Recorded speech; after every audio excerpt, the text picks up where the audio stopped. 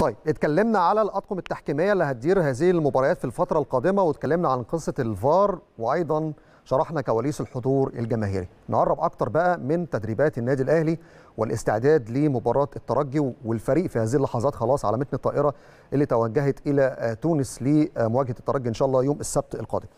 قائمة الأهلي لمواجهة الترجي التونسي. بيتسو موسيماني المدير الفني الجنوب أفريقي للنادي الأهلي اختار قائمة 25 لاعب استعدادا لمواجهة الترجي. محمد الشناوي وعلي لطفي ومصطفى شوبير في حراسة المرمى أحمد رمضان بيكهام وياسر إبراهيم وبدر بنون ورامي ربيعة وأيمن أشرف وسعد سمير ومحمود وحيد وعلي معلول.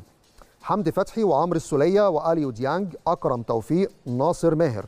محمد مجدي أفشة جونيور أجاييه طاهر محمد طاهر محمود كهربا حسين الشحات وليد سليمان محمد شريف صلاح محسن والتر بواليا يمكن بيغيب عن القايمة محمد هاني بسبب ظروف الإصابة.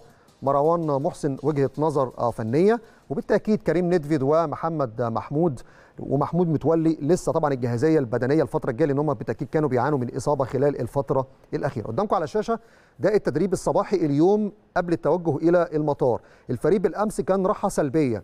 وبيتس موسيماني عنده استراتيجية كده معينة في التحضير للمباريات الكبيرة. ممكن الناس تكون قلقانة من فكرة إن الأهلي كان واخد راحة فترة أطول الكورة يا جماعة مش اكليشيهات ثابتة لا الكورة دايما فيها متغيرات والكورة فيها علم وبيتسو موسيماني من المدربين اللي اطلع بشكل كبير جدا على الكرة الأوروبية وعنده خبرات في كيفية التحضير الذهني والنفسي والبدني لهذه المباريات الكبيرة. طيب النهارده من الأخبار السعيدة بالنسبة لنا وبالنسبة لكل الأهلاوية مشاركة محمد مجدي قفشة في التدريبات الجماعية.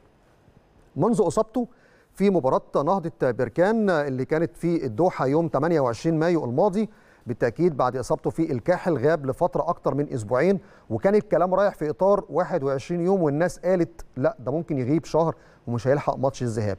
أنا فاكر وقتها وهم لسه في الدوحة بعد المباراة على طول كلمت محمد مجدي قفشة عايز أطمن على موضوع الإصابة قبل حتى ما يعمل أشعة.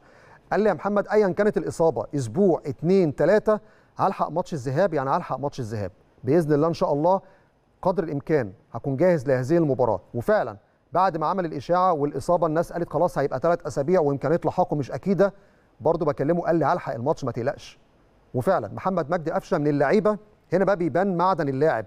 هي مش فكرة إصابة وخلاص هغيب فبالتالي خلاص لا ده أنا كمان هجهز للفترة الجاية وبإذن الله هلحق الماتش. وبالفعل النهارده كان أول يوم لمشاركة محمد مجدي قفشة في التدريبات الجماعية وهو موجود طبعا مع البعثة وعلى رأس القائمه اللي سافرت لتونس لمواجهة الترجي.